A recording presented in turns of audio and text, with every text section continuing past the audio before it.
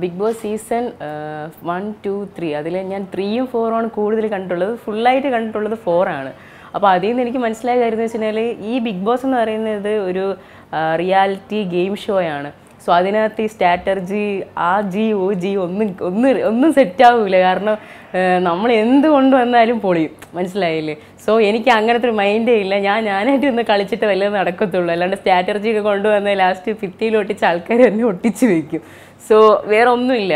ഇപ്പം നിങ്ങൾ കാണുന്ന പോലെ തന്നെ അവിടെ എന്നെ കാണും. പിന്നെ സിറ്റുവേഷൻ വരുമ്പോൾ ഉറപ്പായിട്ട് നമുക്ക് റിയാക്ഷൻ റിയാക്ട് ചെയ്യേണ്ടി വരും.